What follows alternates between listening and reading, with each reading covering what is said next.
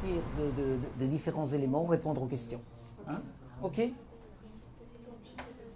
je vous rappelle, comme d'habitude, que le travail que vous allez faire en binôme, ensuite, il faudra le déposer sur le groupe de travail sur place. La réglementation. Euh, le professeur nous a demandé de, de faire une carte mentale sur euh, les différents chapitres. là, c'est une carte mentale sur le développement durable et la croissance économique. Euh, L'ENT permet mille et une utilisations. Il permet d'aller chercher des informations, de les transformer, de se les approprier. Il change la nature même de, la relation élève-prof et la relation à l'école. Titre d'émission de CO2. Vous avancez correctement là? Bah, Oui, ça avance chacun d'entre eux va pouvoir aller euh, consulter les cartes des autres, voir où, euh, soit au CDI, soit chez eux, en dehors de la classe. Le professeur, il nous demande de finir le travail euh, chez nous. Donc nous, on préfère venir au CDI pour continuer.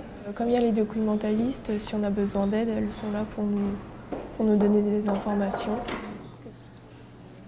Vous venez pour le travail avec Madame Dupuis? Oui? Installez-vous, je vais venir vous voir. Alors, vous avez avancé sur la fiche euh,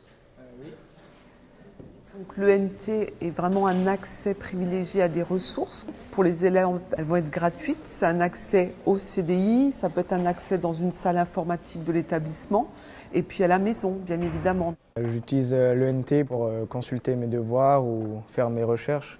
Par exemple, je peux utiliser le site Universalis on a également Europress, qui est une base de presse. Il y a le site TV, qui est un site plus pédagogique, plus pour les professeurs. Un jour prochain, l'outil personnel de l'élève, qui sera un outil numérique, tablette, smartphone, peu importe, un outil nomade, euh, l'élève viendra avec dans l'établissement. Il faudra que l'établissement puisse euh, lui donner une connexion euh, Internet par le Wi-Fi pour que l'élève puisse travailler partout où il sera dans l'établissement.